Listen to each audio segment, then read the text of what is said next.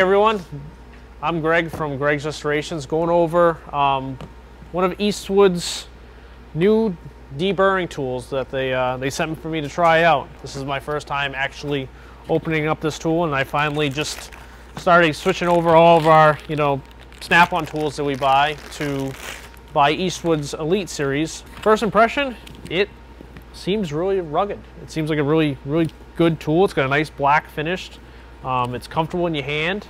It comes with the two wrenches. It comes with a 11 millimeter and a 17 millimeter wrench. It comes with two inch diamond wheel mount. I've actually never used one before. We just use generic, you know, 40 grit and 36 grit and um, prep discs.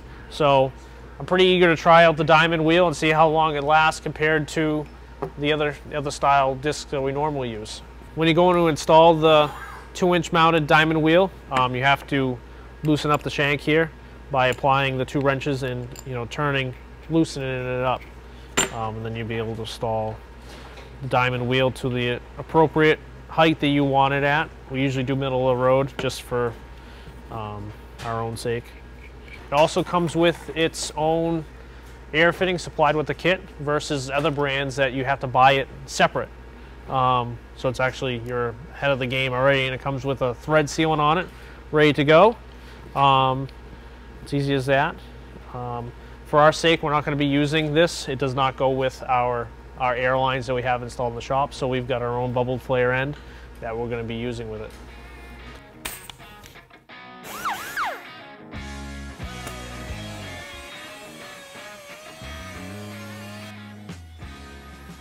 One of the greatest features of this diamond wheel grinding disc is it doesn't wear out. We were working on this Land Cruiser project for about two days and it hadn't even worn out. Using our conventional discs that we normally use, it's 10 to 1. We'd be go we'd be ripping through discs every five minutes. Now this one, it saves time by going out and swapping out discs. I mean, you're saving money for the customer and, and you're saving money in product.